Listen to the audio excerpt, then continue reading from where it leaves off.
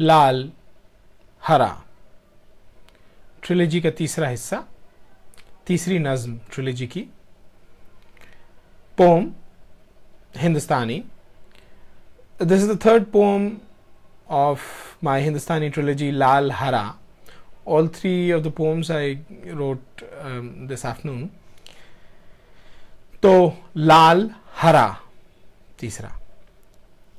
मैं डरा डरा सा अगली बरसात का मुंतजर हूँ, जो मेरी ज़मीन को फिर दुल्हन बना देगी, हरे जोड़े में मलबूस।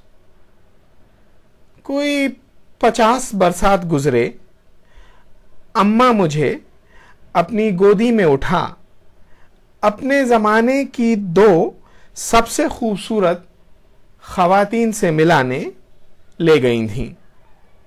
मुझे तो खैर याद नहीं। अम्मा ही बताया करती थीं, जो अब खैर से खुद भी गुजर चुकी हैं।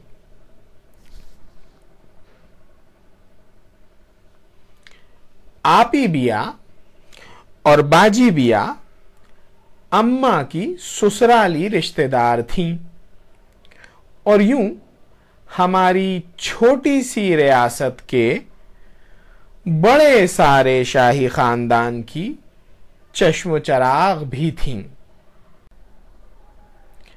आपी बिया और बाजी बिया। आपी बिया छोटी थीं और उन दोनों परियों में भी परी थीं।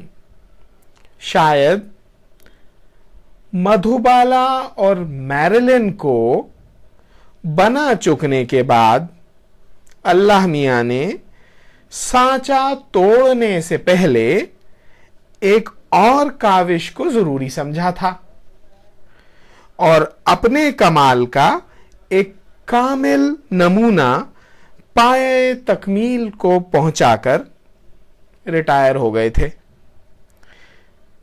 आपी बिया और बाजी बिया।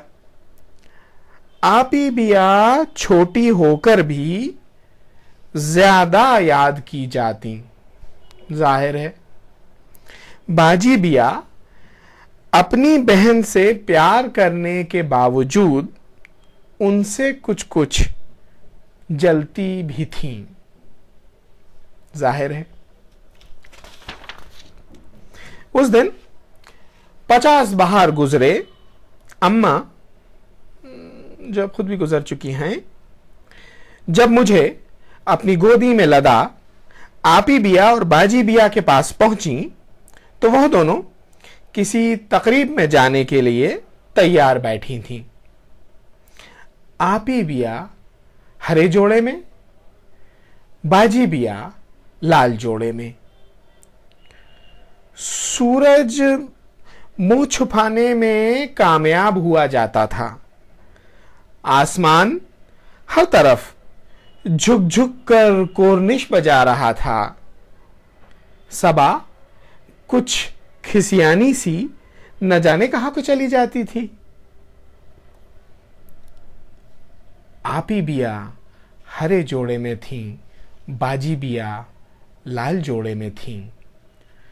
दोनों ने मुझे देखा, शायद पहली बार, शायद कुछ प्यार उबल आया या शायद एक दूसरे की जलन कुछ ज़्यादा ऊद कर आई।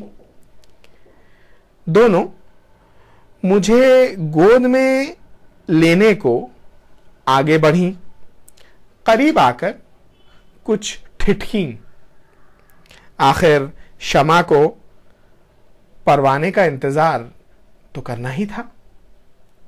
दोनों हाथ बढ़ाए मुंतजर। मैं शशोपंज में मुब्तला। अम्मा को काटो तो खून नहीं। किस से दुश्मनी मोल लेने देती अपने लाडले को? शहर में मशहूर था कि दोनों बहनों की जुबानें बड़ी काली थीं। जिसे बददुआ दे दें, उसका तो अल्लाह भी मालिक नहीं। दोनों हूरें मुस्कुराती, अपने नए होने वाले गुलाम को निहार रही थीं। बिलाखिर, वही हुआ जिसका शायद अम्मा को खदशा था मैं आप ही बिया की गोद में चला गया बाजी बिया, अपने लाल जोड़े की तरह आग बबूला हो उठी और आप ही बिया बाहर सी खिल उठी। शायद जीत की खुशी में या बाजी बिया को गुस्से में दहकते देख। या उम्मीद करने में क्या जाता है? शायद मेरी मोहब्बत में? खैर, वजूहत जो भी रही हो, बाजी बिया अपने आप को न रोक सकी। बोली, अरे चंदो बिया, पूत के पाँव पालने में नज़र आ जाते हैं। बड़ा हुस्न परस्त निकलेगा तुम्हारा ये आशिक टेन पा न जाने, बाजी बिया ने दुआ दी थी या बदुआ और न जाने, उसके बदले में आपी बिया ने मुझे कोई दूसरी दुआ दी भी थी या नहीं? लेकिन मेरी ज़िंदगी ने तो शायद उसी दिन अपनी राह पकड़ ली थी। हर बहार में इश्क होता है। हर नौ बहार से इश्क होता है। पचास बहारें गुजर गईं बाजी बिया भी गुजर गईं आपी बिया भी गुजर गईं। और हाँ, अम्मा बिया भी गुजर गईं। लेकिन बाजी बिया का अता करदा तौक तो हर गुजरती बहार के साथ मेरे दैरीना साथी से ज़्यादा मेरी हस्ती का एक हिस्सा होता चला जा रहा है। अब तो बाहर से डर ही लगता है। मेरी माँ, मेरी धरती, मेरी वसुंधरा अपने अंदर छुपी हुई, आपी बिया और बाजी बिया की खूबसूरती, अम्मा बिया की मोहब्बत सबको एक साथ मेरी झोली में डाल देती है। हर सू हरियाली देती है। आपी बियासी। और कहीं ना कहीं, किसी ना किसी नौबहार को अपना दाम मुझ पर डाल देने की ताकीद ज़रूर कर देती है। और मैं उसका अजहद फर्मा बरदार बेटा होने के नाते उस दाम में जानते, बूझते फंस जाता हूँ। बाजी बिया, बहुत हुआ। अब अपनी दरिया दिली का दरिया किसी और की ओर बहा दो।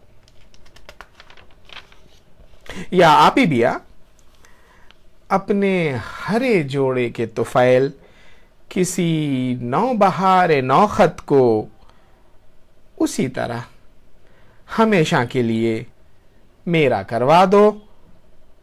जैसा के साथ दिल का धड़कन से होता है, चंदा का चांदनी से होता है, समंदर का पानी से होता है।